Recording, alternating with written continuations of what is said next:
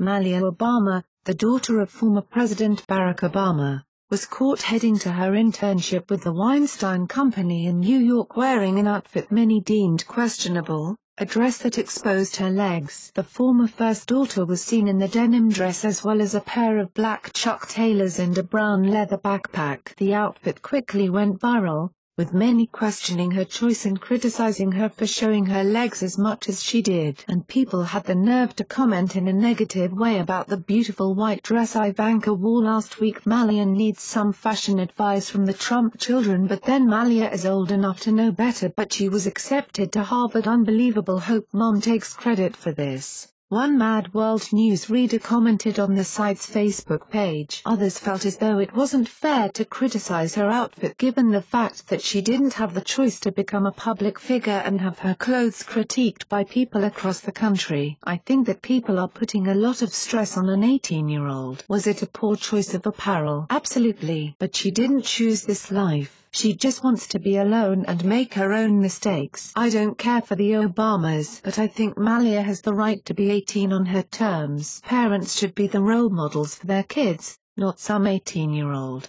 Another added the 18-year-old is currently finishing a gap year before heading into her freshman year at Harvard University. She is set to first head back to Washington, D.C.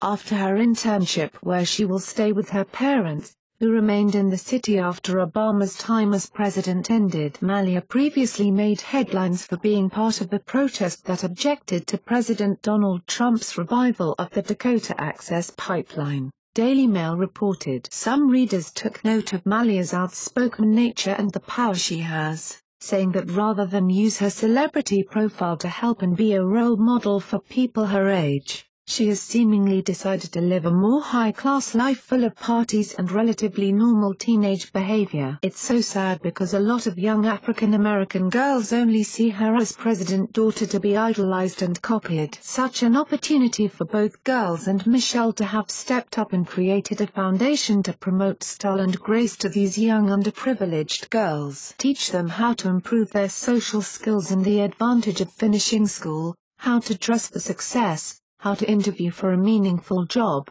etc. One Mad World News reader commented on Facebook. They dropped the ball touting themselves as elitists rather than intermingling with the lower class of young girls looking for a leader to show give them the tools needed to improve their lives. No thought of them while sitting on a private beach writing a book. What do you think? Comment below and share. Scroll down to comment below. MS fan page helped contribute to this report. It's News Exposed signing off.